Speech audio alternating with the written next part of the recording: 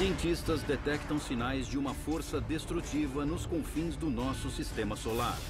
Parecia ser grande o bastante para causar danos. Ele girava em torno do Sol, revolvendo essa região e transformando em poeira. Os astrônomos antigos previram a sua vinda? É como ficção científica, mas é real. 30 de agosto de 1992. Cientistas do Observatório de Mauna Kea, no Havaí, descobrem um objeto não identificado além dos limites conhecidos do Sistema Solar. Antes de 1992, não achamos nada além de Plutão e não esperávamos que houvesse alguma coisa lá. Outras descobertas se seguem até os cientistas perceberem que estão observando milhões de objetos nas fronteiras mais distantes do Sistema Solar. Começamos a ver essas aglomerações enormes de objetos, um reservatório vasto. Esses objetos congelados formam uma faixa de mais de 3 bilhões de quilômetros de extensão, conhecida como Cinturão de Kuiper. Eles podem fornecer pistas sobre o surgimento do nosso sistema solar. Esses fragmentos primordiais nos revelam a composição e a estrutura dos materiais que formaram o nosso sistema solar. Esse cinturão de objetos irregulares representa os vestígios do nascimento do nosso sistema solar. Mas quando os astrônomos da Universidade do Havaí analisam mais detidamente esse gigantesco cinturão de asteroides, descobrem uma coisa completamente diferente. Logo quando você se aproxima da parte do cinturão de Kuiper que contém mais material, ele some, ele termina. Não tem mais nada depois dele. E deveria haver um enorme reservatório de material naquele ponto distante. Mas ele não está lá. Tudo o que sabemos diz que a enorme faixa de rochas deveria se estender pelas profundezas do espaço, mas em vez disso, ela termina como a beira de um penhasco num espaço totalmente vazio. Ninguém consegue explicar isso. Deveria haver um monte de asteroides lá, mas não tem. Por que ele desaparece tão subitamente? Talvez a teoria mais intrigante para este vácuo absoluto é que alguma coisa vasta e invisível limpou a área. Talvez exista um outro planeta naquele ponto até 20 vezes maior do que a Terra.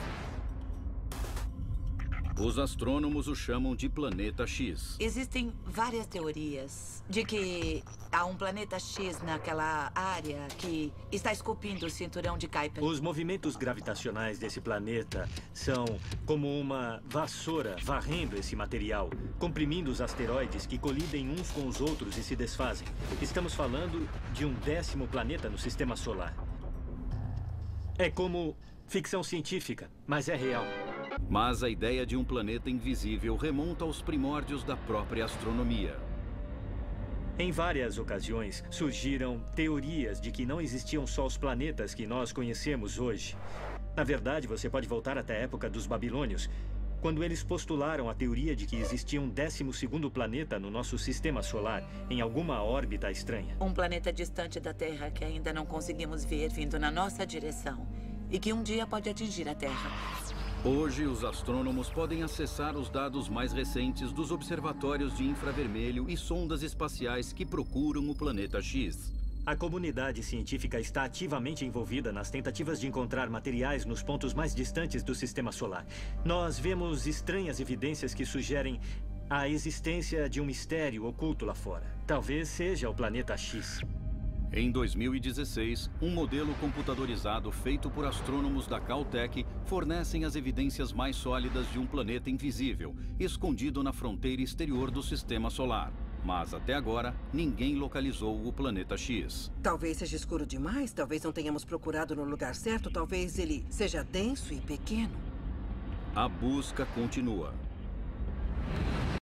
Em 2006, a NASA lança a sonda New Horizons para desvendar alguns dos mistérios do sistema solar exterior. É uma viagem de 5 bilhões de quilômetros que dura mais de uma década. Seria possível que um objeto do tamanho de um planeta não fosse detectado por tantos anos? É claro que sim. O universo é enorme. Os lugares onde um planeta como esse poderiam se esconder são... são vastos. Em 28 de agosto de 2015, a New Horizons tem um novo alvo. As imagens do telescópio Hubble indicam a presença de um objeto desconhecido nas profundezas do cinturão de Kuiper. A New Horizons deve fazer contato em algum momento do ano de 2019.